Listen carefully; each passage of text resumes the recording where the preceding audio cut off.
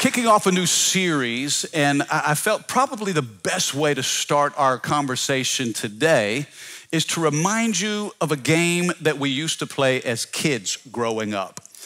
Do you remember a game called Hot or Cold? How many of you played that as a kid? Oh, yeah, just a simple game, but exciting. You know, the object of the game, somebody would, would, would take a, an object and hide it somewhere in the room. And then your job, your responsibility was to find what was hidden. And depending on your proximity to the object that you're looking for, they would give you words to guide you. And these words were associated with temperature, either hot or cold. And the closer you were in proximity to finding the object, the warmer the words got. But the farther away you were, the, the colder the words got. So if we could kind of illustrate this, let's say that what I'm looking for is this podium right here, okay? We're gonna take a quick little hot or cold challenge. If I'm looking for the podium, where would you say I am right now?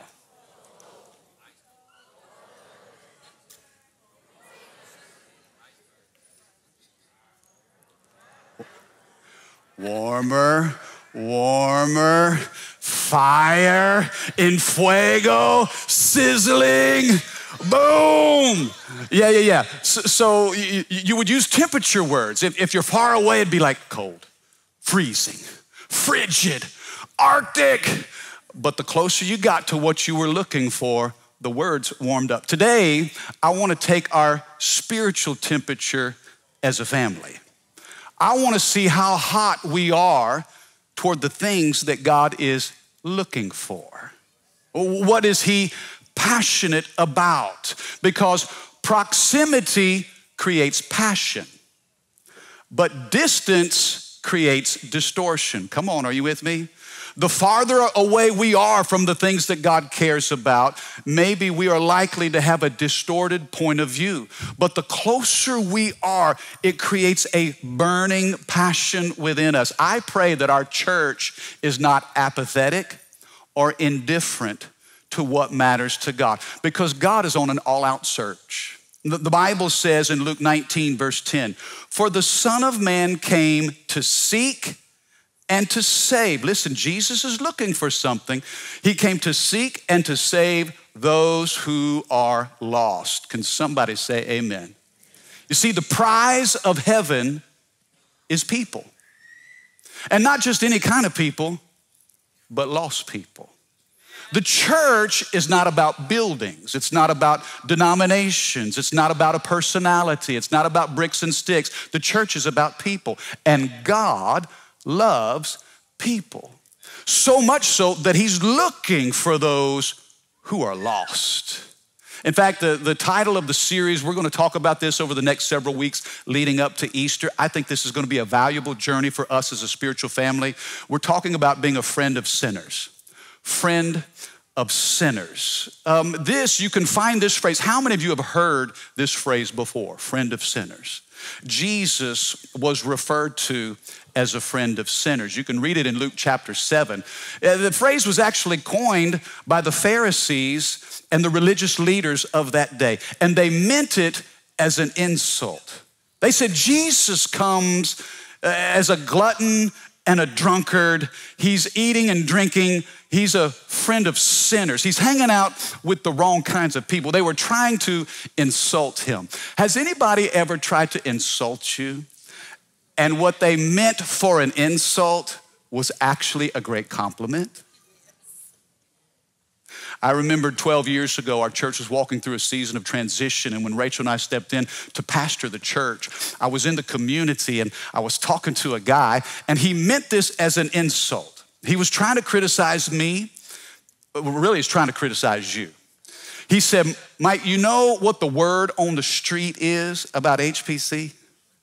I said, no, tell me, what's the word on the street about Healing Place? He said, it's the sinner's church. The sinner's church. I thought, wow, what a compliment. I can't think of a better way to describe us than as a church for sinners. It's a place where those who are down and out, a place for those who are up and out, a place for those who can't figure it out. Come on, somebody and they find a, a safe space, a soft landing in an environment where, where, where, where sinners are welcomed, where saints are edified, where skeptics are disarmed. There's something to be said about a people who will love their community right where they are. I thought, man, may we always be a church for the sinner. Jesus was called a friend of sinners, and they hurled that as an insult, but Jesus wore it as a badge of honor. You know, now let me be quick to give you this disclaimer, because I know sometimes this is starting to make people nervous. Say, Pastor, better check your doctrine, check your theology. Where we going with this? Let's be clear Jesus never condoned sin, and he never affirmed sinful lifestyles.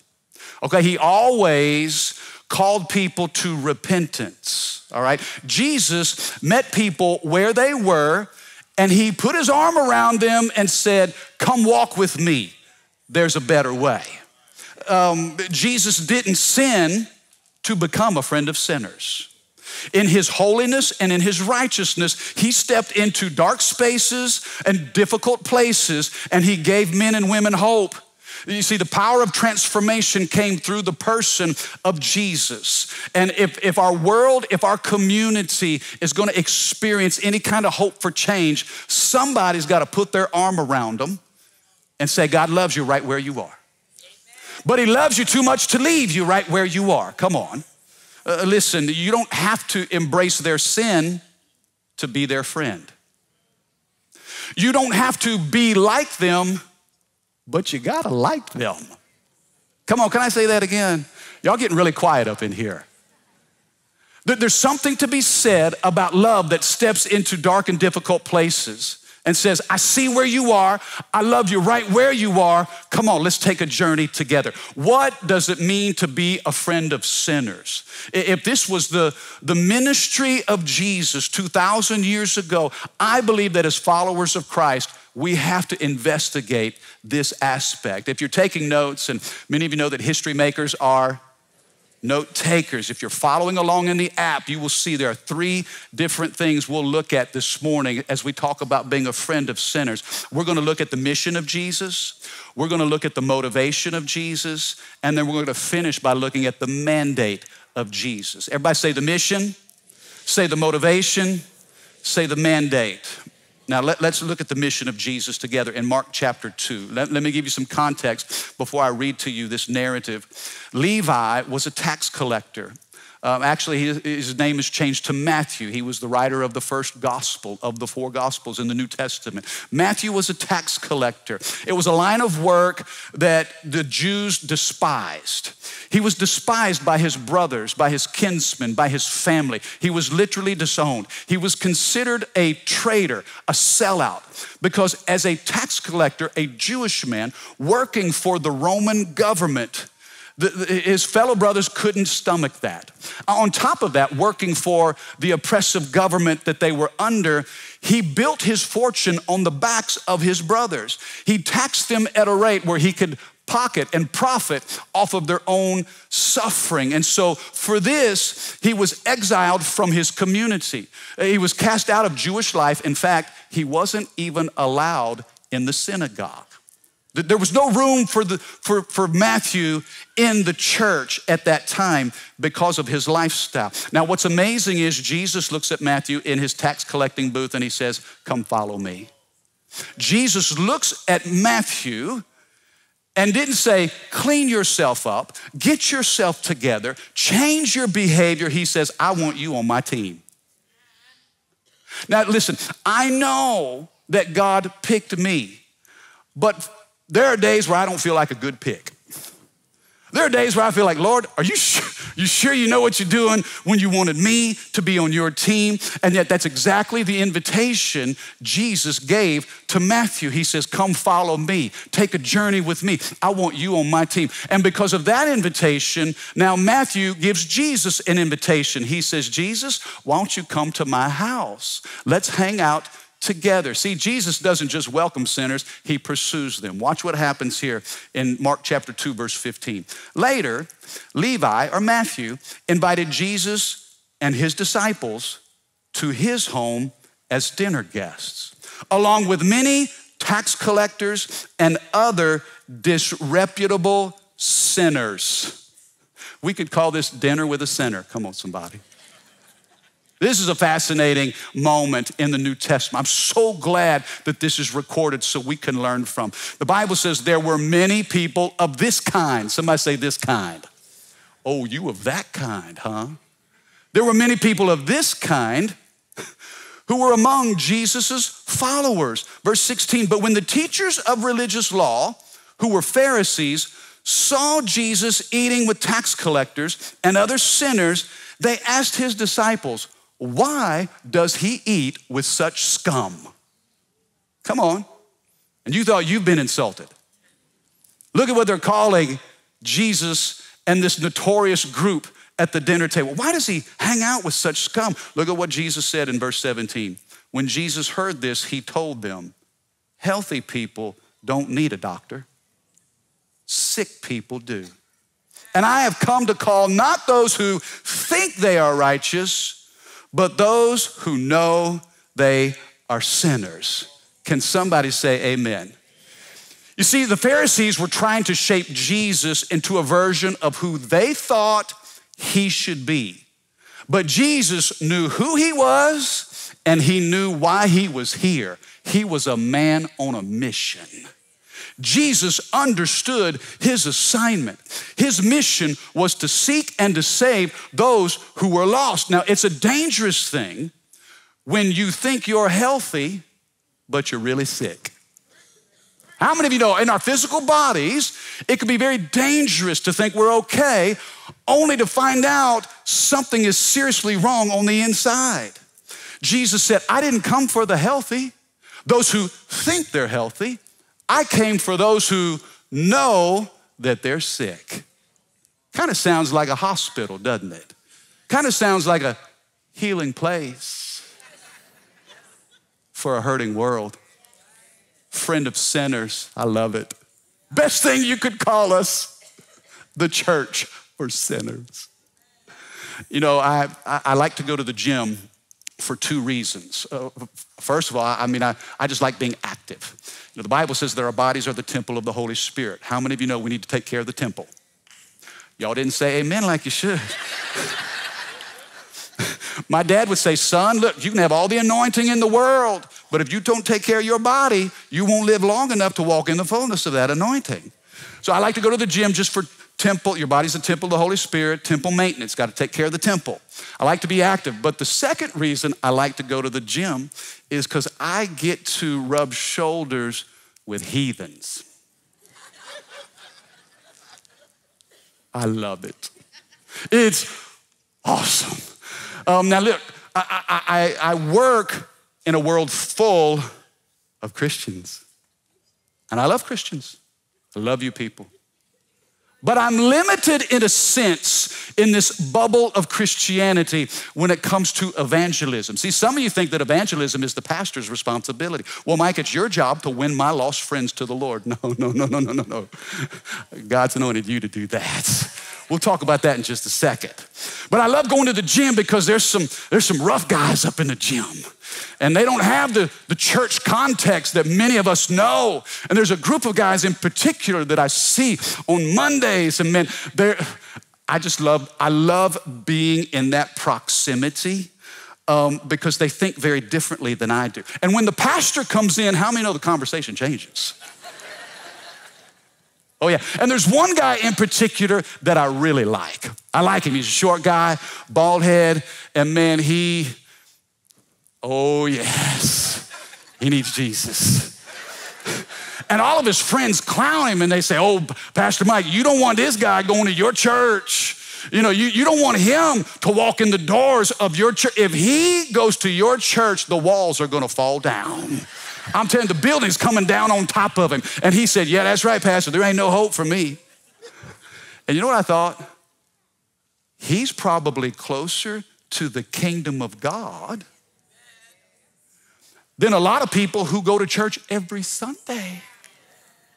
Jesus said, I didn't come for those who think that they're healthy. I came for those who know that they're sick. And you know, I believe that there's coming a day, an opportunity. The, the, the Lord's given me just little, little moments, favor, quick conversations, just to talk. Listen, eh, eh, the Bible calls us the salt of the earth. Well, the salt's got to get out of the shaker. We, we, we got to get out into the world and we have to come in contact with some things in order to be useful. And this was the ministry, this was the mission of Jesus. Uh, now, I think we got to be careful. Again, I'm, I'm gauging our spiritual temperature here. Are we hot or cold when it comes to what God is passionate about? Uh, I'm not saying that you embrace sin, but watch this. You got to be careful. If you're more offended by the sin, then you're burdened for the sinner then there ought to be a check engine light go off in our soul. You see, when sin becomes more important to us than the sinner, that says something about our priorities. Jesus was a friend of sinners. Why? Because he knew that they needed what was inside of him. And the truth is, the world around you needs the Spirit of God that is inside of you. You have the answer.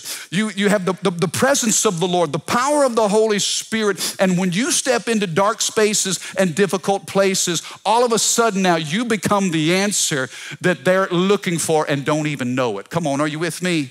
You see, the Bible says, uh, uh I, I, love this because uh, in Matthew 4, verse 19, Jesus said this. N- notice this the disciples didn't come to Jesus ready made, they came to Jesus very rough and uncut and untrained. And the Bible says in, in, in, Matthew chapter 4, verse 19, Jesus said to them, Follow me, and I will make you what? Follow me, and I will make you fishers of men. Did Jesus know that the men he was calling to be on his team were sinful men? You better believe it. You better, and that's why he said, You need to get with me because you need what I have. And if you're gonna follow me, I'll make you fishers of men. Notice this followers of Christ are fishers of men. And if you're not fishing for men, you may not be a follower of Christ. Boy, it's getting quiet in here. How many of you know that dogs bark? Ducks quack. Cows, I did that really well, didn't I? What do sinners do? Why are we shocked when sinners sin? We're very quick to condemn their activity, but I wonder has God burdened our heart to love them where they are and say, hey, there's a better way? You know, as followers of Jesus, we will fish for men. When was the last time you fished for a man? And I'm not just talking about to the single ladies here today, all right? that was funny. When I said that, I thought, wait a second. Hi. Why do we spend so many days fishing for success, fishing for popularity, fishing for fame, fishing for fortune, fishing for influence? If we're not fishing for men, we may not be followers of Jesus. Jesus says, Follow me and I will make you. Somebody say, Make. That means I will shape, I will form, I will build within you. The, the, the, same love that Jesus has for the lost, if we are his followers, we will have that love too. My concern is we've become keepers of the aquarium instead of fishers of men. Oh, we've been in the aquarium for a long time, and it's easy to get critical in the aquarium. Man, it's easy to judge from the aquarium. We're trying to keep the aquarium, and Jesus said, No, you got to get out there and fish. You got to fish for people at work, in your neighborhood, in your community, at your school. Come on, are you catching this today? Somebody say the mission of Jesus. Let's look at the motivation. Number two, the motiva- motivation of Christ. Why would Jesus leave heaven, the glory and splendor of heaven, to come to our broken and busted world? Well, you can trace it all the way back to the Garden of Eden. There are two significant gardens in the scripture.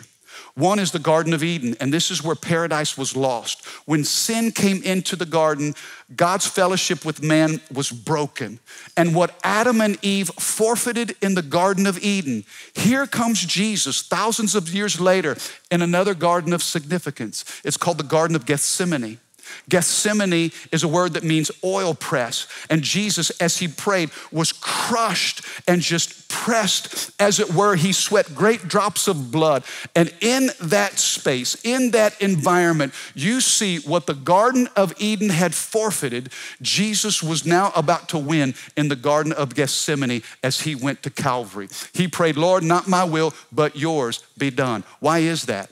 Because Jesus was going to be the bridge that would, would fill the gap that our sin created. Our sin created separation from God. And so God sent Jesus to be that bridge to bring these worlds back together. Jesus knew that if the gap wasn't fixed, that the separation would be eternal. Let me say this hell is an uncomfortable reality. I don't think you can talk about evangelism without talking about both heaven and hell. I know there's a popular book and even movies about, you know, heaven is for real. Heaven is a real place. And granted, yes, it is. And that's the goal for every believer, man. Uh, but you know what? Hell is just as real. And we've got to talk about eternity in the context of, of, of, what's happening in our world. I would do you a disservice if we didn't talk about something that's a little uncomfortable. Jesus said in Matthew 13, verse 47, again, the kingdom of God, the kingdom of heaven is like a fishing net that was thrown into the water and caught fish of every kind. When the net was full, they dragged it up onto the shore. They sat down and sorted the good fish into crates, but threw the bad ones away. That is the way it will be at the end of the world. The angels will come and will separate the wicked people from the righteous, throwing the wicked into the fiery furnace where there will be weeping and gnashing of teeth. You say, Pastor, I'm not sure how I feel about this. Oh, Pastor, wait a second. I, I thought this was, you said friend of sinners. I thought this was a safe place. Maybe some people would say, Yep, I knew it. I knew it. You hate people. That's why you hang in hell over everybody's head. No, no, no. Because I love God and because I love you, I owe it to you to talk to you about the hope of heaven and the reality of hell. There are people in this world that want nothing to do with God. So, guess what? In the next world, they'll get exactly what they want no fellowship or relationship with God. You know, eh, and it is tough. It is uncomfortable. But I would hate for you to stand before God. You, you, come to Healing Place and you feel all comfortable and cozy, and you've never been confronted with the reality of eternal separation from God. Why didn't Pastor warn me? Why didn't he tell me? Uh, listen, death is not termination, it's simply transition. Your last breath here, when you close your eyes here, you are going to open your eyes somewhere else. And there's only one of two places that that will be. Now, I know in this life we have a lot of choices and we love making choices. Sometimes we got so many choices we get paralyzed, we can't even decide. You ever been in a restaurant and you got a, a, a menu that was that thick and you felt like you were reading an encyclopedia and you're like, where are we going to even get started? The waiter has to circle the table three times before you make up your mind. You ever been to Izzo's and there, there was a long line behind you and you walked up in there and you're like, man, I got decisions I got to make. Am I to get a taco? Am I to get a burrito? Am I to get a quesadilla? Man, what am I to get? Oh, do I want beef? Do I want chicken? Do I want pork? And man, how do I want this thing dressed? And man, what size do I want it? And do I want a meal deal? And man, how am I to pay for this? Cash, credit, debit? Ah, the choice. I'm look, y'all go ahead. Y'all get in front of me, and I'll figure it out. We love to make choices, but in eternity, there will only be two. There will only be heaven with Jesus or an eternal hell without him. Listen, I don't enjoy talking about hell. I don't. But I can't avoid it either. In the Gospels, there are 60 verses that talk about hell. Jesus described it in great detail. In Luke 16 23, he said it's a place of eternal torment. In Mark 9 43, he said it's a place of unquenchable fire. In Mark 9 48, he says it's where the worm doesn't die and the flame is never quenched. In Matthew 13 42, he said it's a place of weeping and gnashing of teeth in anguish and regret. In Luke 16 19, he said it's a place of no return. There is no going back to warn your loved ones or your friends. In Matthew 25, verse 30, he says it's a place of outer darkness. In Matthew 10, 28, he compares it to Gehenna, and that was a trash heap outside of the city of Jerusalem where they would burn all of their garbage and maggots would abound. Jesus talked more about hell than he did about heaven. And here's why because he came to earth to tell all of us we don't have to go there. He is our hope to escape the wrath of God and the judgment that's to come. Jesus knew, he believed, and he warned about the absolute reality of an eternity apart from God. And so, what is our mission? Our mission is to make it hard for people to go to hell in this city. There are almost 500,000 people in Baton Rouge. In the metropolitan area, almost 750 thousand people that walk these streets, that go to our schools, that work in our businesses, that live in our neighborhoods. And you know what? Why is Healing Place Church here? Is to remind them look, you don't have to go to hell. Man, we're here to, to, to announce to you that there is hope, and hope has a name, and his name is Jesus. If you're gonna go to hell, you're gonna have to ignore every outreach that we've ever done. You're gonna have to close your eyes to every act of kindness on our streets, everything that we've given away to remind people that God sees you, He loves you, and He sent Jesus to die for you. You're gonna have to avoid our church services. You're gonna have to harden our hearts, harden your hearts to our prayers. You're gonna have to reject our message, resist our passion, renounce our spirit, and refuse our Jesus. We're gonna make it hard for people to go to hell in this city. Can somebody say amen? That's why we plant campuses. That's why we do services. That's why we give in an offering. That's why we do the Dream Center. That's why we have a, a team in Mexico right now building an orphanage because we want to do everything we can to let people know you don't have to die apart from Christ. See, the reality of hell will put an urgency inside of your soul. Uh, Paul said it this way in Ephesians 5, verse 15 Be careful how you live. Don't live like fools but like those who are wise, make the most of every opportunity in these evil days. Don't act thoughtlessly, but understand what the Lord wants you to do. Can somebody say amen? Number your days, count your days. When you count your days, you make your days count. The other day, I pulled up at, a, at an intersection. I was stopped at a red light, and I looked to my right and I saw a guy in a car next to me. He was listening to his music, and man, he was kind of in his world. And you know what thought I had? Here's the thought that I had for him He is made in the image of God. God created him, God loves him. I wonder if he knows that.